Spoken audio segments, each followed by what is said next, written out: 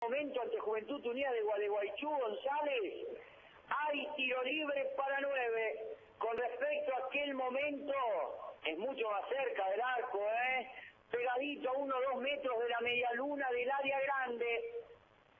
Le va a pegar Gonzalo González. Expectativa en el estadio. Casi 19 minutos. Hay mucha gente en el área, en la barrera de policial. Le va a pegar González, va a la orden, le va a pegar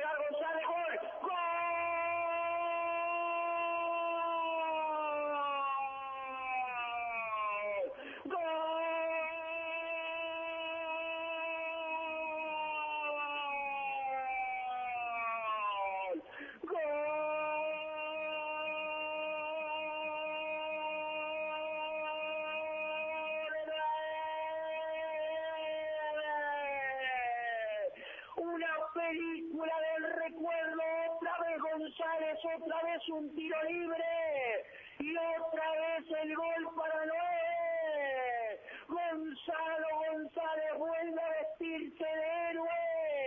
19 minutos del complemento. Lo da vuelta a 9. Lo da vuelta el celeste que perdía 1 a 0. Ahora gana 2 a 1. Y para volver a ilusionarse con el ascenso, para volver a ilusionarse con meterse en el triangular final. González, la barrera saltó, la pelota fue por abajo, descansó en la red, lo gana 9 2 a 1. 12-20, continuamos en resumen deportivo. Gonzalo González, el arquero goleador, eh, que el otro día repasábamos eh, la campaña y bueno, vamos a charlar con él, lo tenemos en línea. Chaco, ¿cómo andás? Sebastián para Radio República de Morteros te saluda. Buen mediodía, ¿todo bien? ¿Qué tal, Seba? ¿Cómo andas? Eh, la verdad que muy contento de escucharte nuevamente, hablar con usted, así que y recordar esos momentos que la verdad que se me pone la piel de gallina cuando escucho el relato. Muy bien. ¿Qué, qué recordás? Digo eso, primero, ¿qué te produce volver a, volver a escuchar, volver a escuchar ese gol, eh, revivir por allí esos momentos tan lindos eh, con, con la camiseta de nueve? Sí, sí, me, me- primero me llena de emoción escuchar, recordar esos momentos que, que pasamos ahí en 9 y la verdad que me pone muy contento que, que por ahí se siga se siga escuchando, se siga viendo, se- a- al menos a mí me pasa que cada vez que lo escucho se me pone la piel de gallina y la verdad que, que me pone muy feliz. Muy bien. Bueno, ese fue el segundo, eh, el segundo gol. Eh, primero, volviendo la película para atrás, ¿qué recordás de, del primer gol de tiro libre en, en- en aquella tarde en, en Gualeguaychú, partido 0 a 0 y, y fuiste y agarraste la pelota? Ya antes de ese gol venía hinchando en la semana, pateábamos, jugábamos competencia y, el Dani Gavio me decía que en algún momento me iba a dejar patear y cuando pasó ese tiro libre, el Nico Gaido, que era el, encargado de patear, había, había sido reemplazado hace poquito y bueno, lo primero que hice es mirar al banco y preguntar si me dejaban patear y, el Dani me dijo, anda, anda, anda a patear y ahí empecé a correr y, y se me hizo larguísimo cruzar toda la cancha. Pero no, la verdad que recordar ese esos momentos fue es muy lindo. Bien, bueno, después recordemos que viene la revancha, ustedes habían ganado en Gualeguaychú, digo, viene la revancha, pierde, van a penales, ese sabor amargo, digo, de, de- de quedar eliminado, más allá que después abrió una ventanita por otro ascenso. Sí, sí, la verdad que nos habíamos ilusionado mucho trayendo una victoria allá de visitante y después, bueno, de local por ahí no, no se jugó del todo bien. Recuerdo que una jugada desafortunada ahí en un rebote nos empatan y, bueno, en los penales por ahí no no se nos dio a nosotros y, quedó ese sabor amargo. Y bueno, y después como decís vos, hubo otra revancha para para volver a ilusionarnos de nuevo. La verdad que ese año el 9 merecía, yo creo que merecía ascender y, y pero bueno, por cosas del fútbol no, no se nos pudo dar. Bien. Bueno, eh, y bueno, eh, es el gol que pasamos recién, eh, una tarde muy recordada, porque además fue un día de semana, porque bueno, había pocos hinchas de nueve allí presentes y muchos escuchando la radio, lo que fue, lo que se vivió esa tarde también en, en Catamarca, en cancha de policial. Sí, también, también, la verdad que me, me cargan, me cargan mucho por ese gol porque dice que le pegué con, con el tobillo. que, que también, también cuando iba pasando la pelota iba a los saltitos y, y yo no veía que la pelota iba a entrar en ningún momento porque pasó la barrera y yo dejé de ver la pelota y cuando empezaron a correr hacia mí ahí me di cuenta que era gol y no, la verdad que, que recordar y todo lo que vivimos, la verdad que me pone muy contento. El otro día pasamos la nota que te hacíamos después de, ese partido, o que te hacía yo después de ese partido, eh, pero te vuelvo a preguntar, en, en la última del penal, ¿la tocaste o pegó en el palo? No, pegó en el palo, pegó en el palo. Me acuerdo que me hicieron una nota para una radio de ahí y yo le dije, sí, la toqué, la rocé y después pegó en el palo. No, no llegué, mentira. pegó directamente en el palo y salió. Bien. Eh, bueno, porque digo, si, si era gol de policial había penales. Claro, no, empataba y patearon el penal y terminó el partido. Exactamente, sí, sí, terminó el partido. Eh, bueno, después viene San Martín de Formosa. ¿Y, qué recordás de, la final final, se podría llegar a decir, con Juventud de Gualeguaychú? Porque recuerdo que hubo un banderazo eh, acompañándolos en la previa.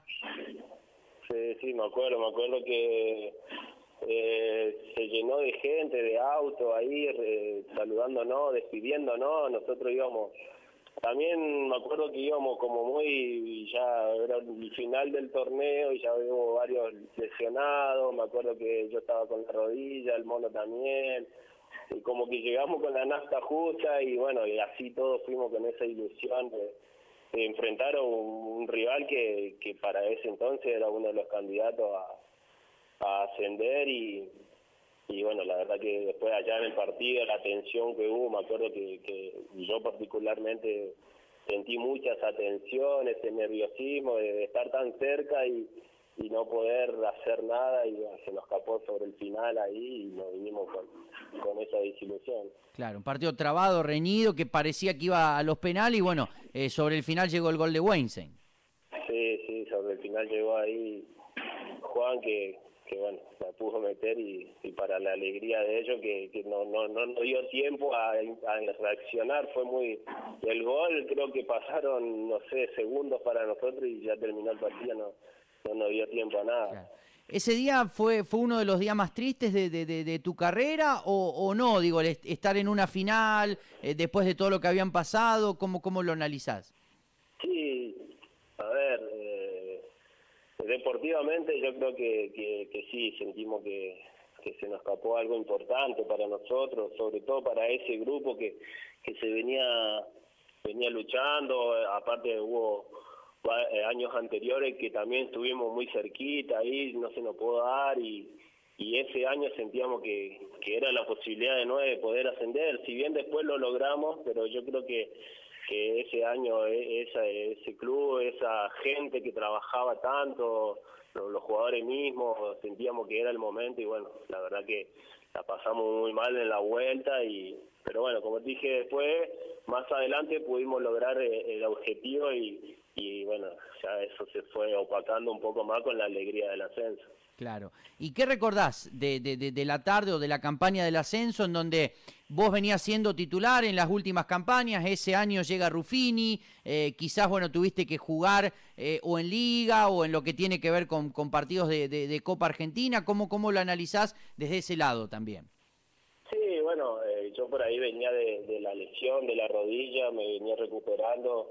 Uno siempre quiere estar, siempre eh, quiere jugar, eh, sentía que yo eh, iba a estar bien para la vuelta del torneo y bueno, decisiones que por ahí toma la dirigencia, el cuerpo técnico, pero bueno, yo la verdad que, que, lo, lo, disfruté mucho al, ascenso, si bien por ahí no tuve la, la participación que uno quiere tener dentro del campo de juego, la verdad que, que lo disfruté mucho, siempre le digo a los chicos que estoy muy agradecido a ellos, que ellos hicieron el esfuerzo de, darme un ascenso, de tener un ascenso en la espalda gracias a ellos y, siento y, que, yo también formé parte de ese sin haber jugado un minuto, eh, siento que, también fui parte de, ese ascenso. Claro. ¿Qué, qué recordás de, la final con Racing? Sí, eh, la final con Racing eh, fue fue, o sea, a ver, por ahí si bien la gente del 9 es muy apasionada, sobre todo con el club, con el fútbol, la verdad que ese, ese día, tanto de local como de, visitante, la verdad que ha superado la, expectativa que por ahí nosotros veníamos durante todo el año. Eh, teniendo partido tras partido.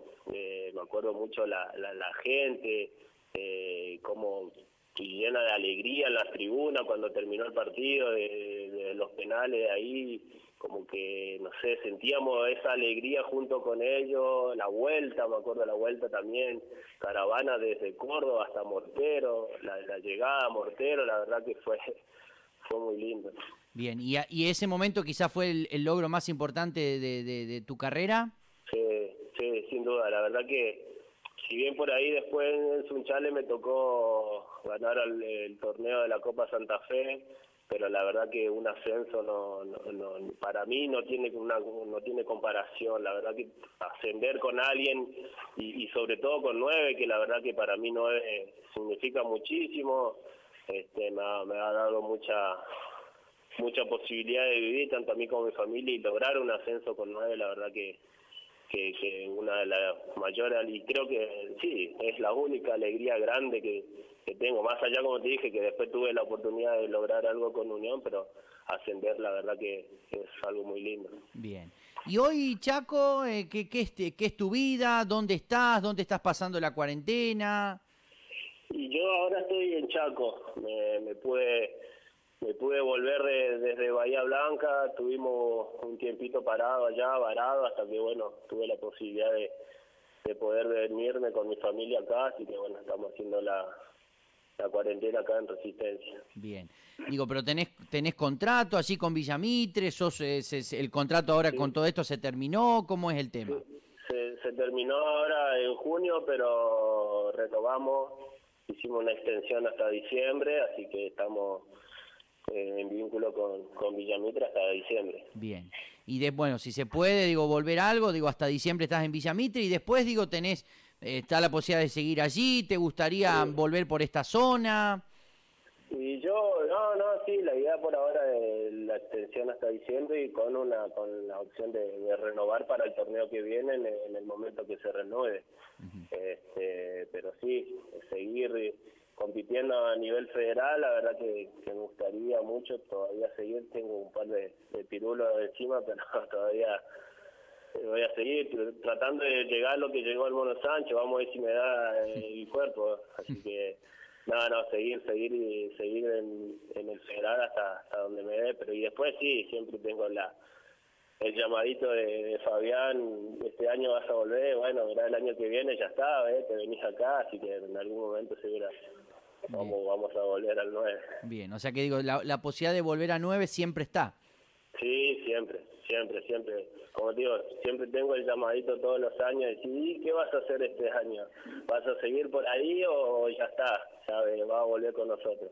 Pero sí, sí, la idea siempre es volver, siempre y cuando la gente que esté de turno eh, quiera, ¿no? Porque, bueno, eso también, cosa del fútbol que por ahí uno no, depende de uno, ¿no? No es que yo voy a decir cuándo quiero volver, sino que la gente que está de turno por ahí va a decidir si sí o si no. Claro, exactamente. Como decís vos, no, no, no se sabe qué va a pasar, qué puede deparar, digo, eh, pero si pudieras elegir o si se puede dar, ¿te gustaría retirarte con la camiseta de nueve? Sí, me encantaría, me encantaría.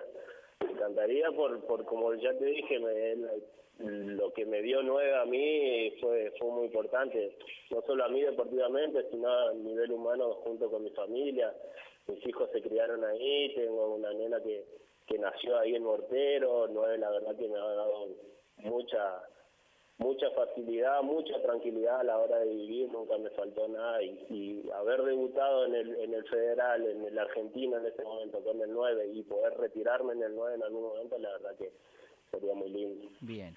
Eh, bueno, tenés, tenés muchos amigos, muchos conocidos, bueno, parte del plantel de nueve que digo, los conoces a la mayoría. Sí, sí, sí. Amigos, amigos tengo muchísimos, la verdad que hasta el día de hoy tengo contacto con, con muchos, eh, la verdad que si me pongo a nombrar a todos, la verdad que se me va, se va a extender mucho la charla porque la verdad que mucha gente que, que nos ha ayudado, eh, nos ha brindado toda su amistad ahí en Mortero y estamos muy agradecidos con todo ello. Bien. a Acuña, bueno, digo, lo, lo conoces, eh, pero digo, ¿alguna vez lo tuviste? Digo, porque cuando vos estabas en 9, Gerardo era técnico de tiro, bueno, hoy Acuña es técnico de 9. Sí, sí, lo conozco, pero no, no he tenido la oportunidad de trabajar con él.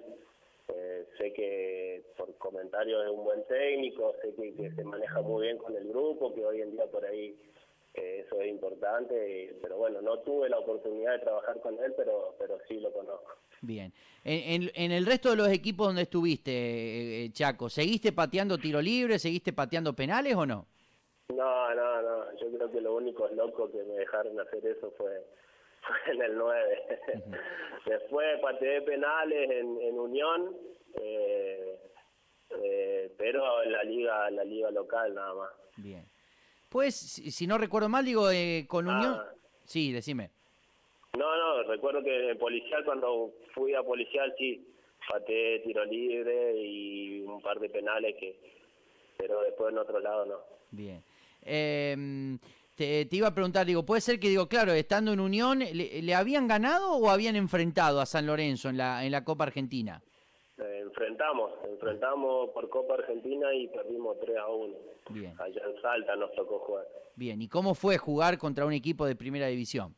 No, la verdad que también una experiencia eh, muy linda, una experiencia única, enfrentarnos con un San Lorenzo que en ese momento tenía mucha figura, que, que por ahí nosotros, a mí particularmente me tocaba siempre verlo por la tele y, y nada más, y jugar enfrente de ellos, tenerlo tan cerca, la verdad que fue una experiencia muy linda y la verdad que también se portaron muy bien con nosotros, eh, no es que no, no, no son gente que, mal llevada ni, ni nada de eso, la verdad que es también una experiencia muy linda. Después, bueno, me tocó también enfrentar a, otros equipos de primera división y, la verdad que es algo muy lindo. Bien, ¿y ese día con San Lorenzo, digo, pudiste cambiar camiseta con, con alguno o no? Sí, sí, sí, tengo la camiseta de, de Torrico. Eh, cuando terminó el, partido fuimos al vestuario de ellos y bueno, ahí los muchachos salieron a, a cambiarnos las camisetas. Y nosotros por ahí y, nos daba un poquito de vergüenza si le ofrecíamos la nuestra o no, porque la, la camiseta de ellos con la nuestra no, tiene comparación. Y decía, no, sí, sí, dámela, la quiero. Así que, una experiencia muy linda. Muy bien, así que cambiaste la, la camiseta nada más y nada menos que con Torrico. Sí, sí, sí, sí. Eh, bueno, acá te manda saludos, eh, bueno, la familia Gaido. Eh, un saludo para Gonzalo de parte de Cayo, Moni, Nico, Facu y Valentina. Una gran persona y saludo también para la familia, dice.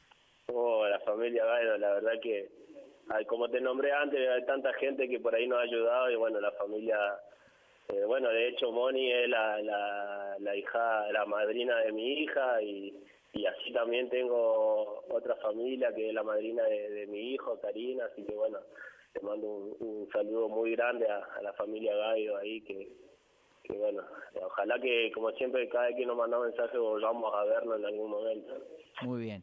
Eh, Chaco, algún, bueno, gracias por, por estos minutos. La idea era recordar un poco em, lo que tiene que ver con tu paso en, en, nueve, aquellas campañas. Digo, algún, algún saludo para bueno, la gente que te está escuchando aquí. Sí.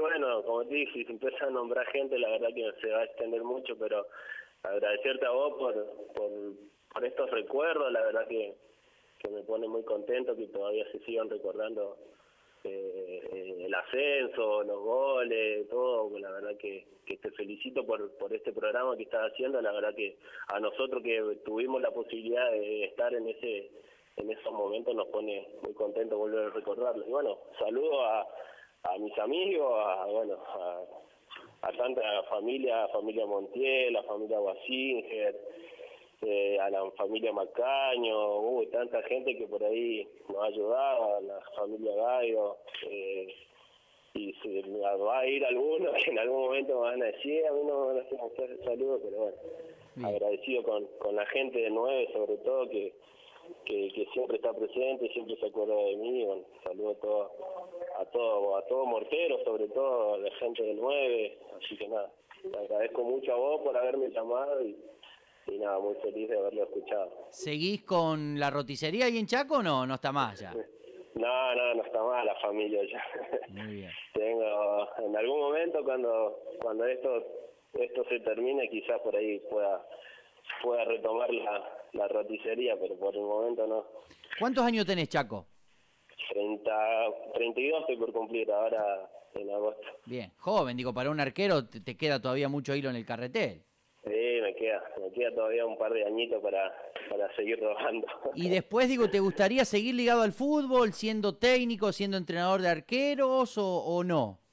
Sí, sí, sí, me gusta, me gusta la idea de ser técnico. Tuve la oportunidad de trabajar como, como entrenador de arquero ahí en Sunchales, así que y me gusta, la verdad que me gusta y, y ojalá, ojalá se me dé la oportunidad. Sé que por ahí el Mono Sánchez con, con el Ferreira están armando un, un equipito ahí de cuerpo técnico, así que capaz que se tire mi currículum ahí y una vez tengo suerte. Bien, tú los conocés, decís, hágame un lugar, decile. ya, ya va a llegar el mensajito ahí para, para ver si, si tengo una entradita ahí. Bien, si bien estamos en vivo y es medio complicado a veces, pero ¿recordás alguna anécdota de, de, de, de tantos viajes, de partidos con, con la camiseta de nueve, de algún viaje en especial o no? Sí, ahora esto, sí, a ver, tantas, tantos viajes, tantos kilómetros que, que, que, que nos tocó pasar, la verdad que me acuerdo que Germán Baldo no, no nos dejaba comer chocolate.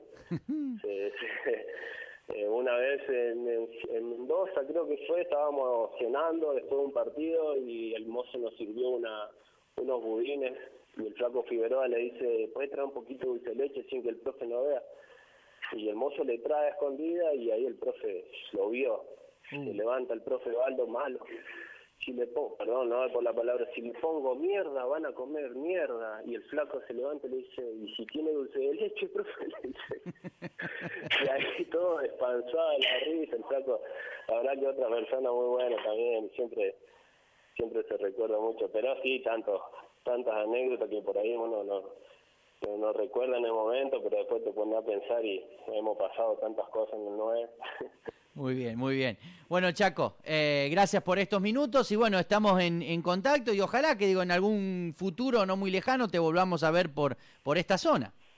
Sí, seguro, seguro. Tengo la gana, la, la ilusión de por ahí volver al nuevo, volver a la ciudad que, que, que es muy linda, así que bueno, ojalá que en algún momento tenga la posibilidad de poder. Yo creo que sí, yo creo que, que voy a tener esa posibilidad. Espero que, que me la puedan dar, así que Ojalá, ojalá que pronto nos volvamos a ver. Bien, cambiando de tema y ya aprovechándote, ¿cómo está